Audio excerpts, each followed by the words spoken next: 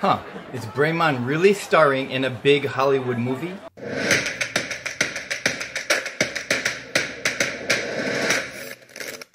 What's up guys, it's your boy Rich here back at it again with Bremont's all new U-251 jet. Let's go take a closer look at it. Let's go.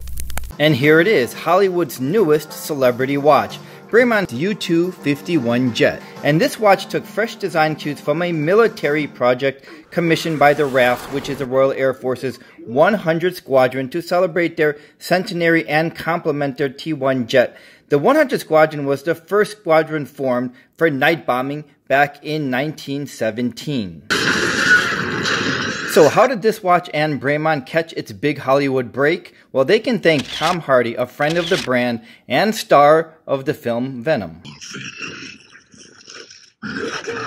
But we'll talk more about that later. The U-251 jet is the newest addition to the U-2 family, which was developed and inspired by a select number of elite military squadrons. This version is 43 millimeters with 49.5 millimeters from lug to lug, 14 and millimeters tall and with a 22 millimeter lug width. I think it wears really well for thickness. Here, let me show you. Hold on a second. Oh. I think it is well proportioned and it feels good on the wrist and it is very comfortable. And since we're here, let's take a look at some wrist shots.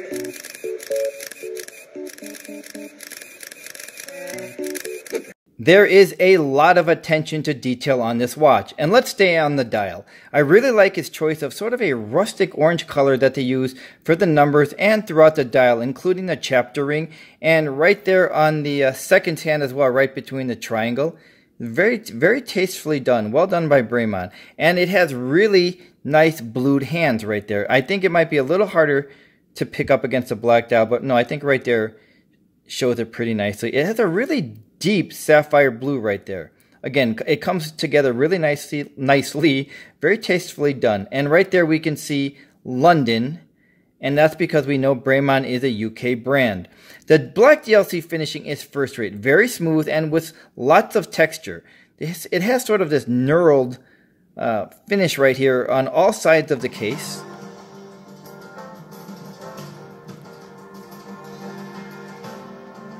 and on both pushers, including the additional uh, logos right there on each of the crowns on the pushers right there. It, it, has a really nice texture to it, and it, it really gives us, it helps with gripping of, of both, both pushers here. And the bottom pusher right here controls the bidirectional double rotor. Here, I'll show you what I mean. It has a really nice soft clicking sensation right here, and it is bidirectional, so I'll show you what I mean. I can take it back to where to where it started. And the top pusher controls the time. Both pushers are really well done, very very well made. And its loom is excellent as you would expect from Bremont. The U251 Jet comes with either this black leather strap here or a black DLC metal bracelet. And the strap that comes with it here is actually really nice. You can see it's actually, it's fairly thick. It certainly isn't flimsy and it is well, well padded uh, throughout the strap here and there is the Bremont branding right there on the buckle. And if we turn the watch over, we see one of the first major changes to its previous DLC U2 model, and that's this smoked tinted sapphire crystal right here, which is actually really cool. It's sort of, it is actually really rare to see a tinted, a tinted uh, sapphire crystal uh, back like this. And it is exposing their BE36AE automatic chronometer with 38 hours of power reserve based on the 2892 with Bremont's variations. And there is, we can see it is actually really, really well finished here. Uh, it looks like it is also grayed or tinted, but I think the the the movement uh, and the parts right there are still in the steel color. I just think it appears that way through the uh, smoked uh, crystal right here. But we can still see that it is it is it is nicely finished.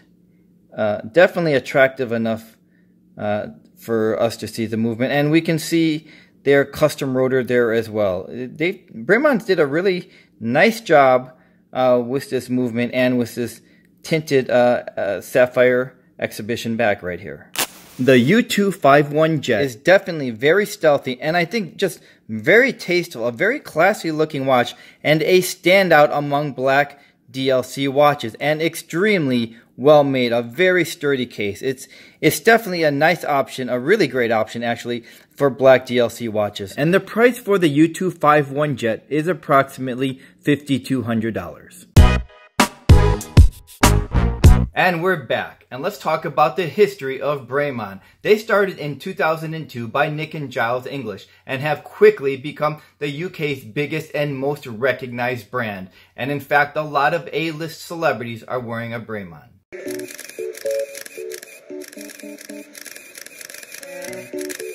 But as quickly as Bremont has become the must-have watch, they've also faced some criticism. Criticism? criticism because their watches are fairly expensive and for not using a fully in-house movement. Though they've been doing some wonderful things. Since 2014, Bremont has invested in a new facility where they've been developing their own cases and their movements components. So, is Bremont still an overpriced watch? Because we often hear, well for that money I would rather buy this, that, or the other.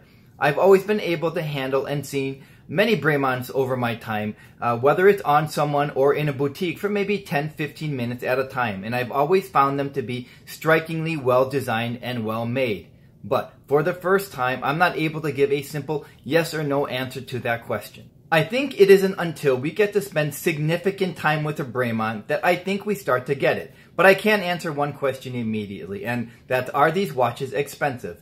Yes, because by nature, any watch that's $5,000 or more is automatically very expensive. But I think there is a better way to put this into perspective. All the celebrities that I cited earlier who wear a Bremont already have the watches that we talk about that we would rather have instead of a Bremont. Yet, they are still attracted to and still wear a Bremont. I think that says a lot. So earlier I asked this question. So, is Bremont still an overpriced watch? So the long answer is no. If we're fortunate enough to be able to afford a Bremont, we should. Because these are well finished, well made watches that have that X factor, which means we can't always explain things, but they just feel right within our collection. There's also something else that is kinda sorta exciting about Bremont, and that if Bremont eventually goes fully in-house with their movements, these versions could end up to be quite the collectibles, a lot like how Tudor Black Bays are. Tudor Black Bays are really well sought after on the aftermarket, and they exploded ever since Tudor announced their first in-house movement with the Black Bay back in 2013. So if we, if we, if Bremont wants to follow that same business model, these versions could end up to be quite the collectibles. Either way, no one is complaining about the Tudor ETA versions. Earlier, I talked about how Bremont caught its big Hollywood break, and that's because Tom Hardy, a friend of the brand, was already going to wear his Bremont, but because of his clout and being a friend of the brand, asked Bremont to create a watch that would fit his dark character, and Bremont complied. And in addition to creating that really cool watch, they also had a lot of fun by creating this, the look of a really cool airplane with the help of a really famous artist. Hey Bremont, I'm thinking about starring in my own martial arts film where I am a black belt whose skills start to deteriorate as I start to beat up people unjustly, forcing a showdown with a white belt who is also a bully. Can you come up with a design for me? And since today's show has a movie theme, I have a suggestion for the producers of Bond 007. Since we know the upcoming Bond film will be Daniel Craig's last turn in the role, and because you will be looking for an all-new James Bond, why not start over since you're starting over with an all-new James Bond and move away from Omega? What better pairing would there be with the UK's biggest watch brand with the UK's biggest action hero? Thanks for joining me, and I'll see you the next time. And we're talking about Bremont's all-new U2... Sorry, not that U2 Sorry, Bono, but it's not always about you.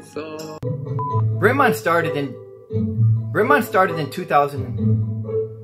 Bremont started in 2002 by Nick and Giles. They have that ex. they have that X. so earlier, I asked this question: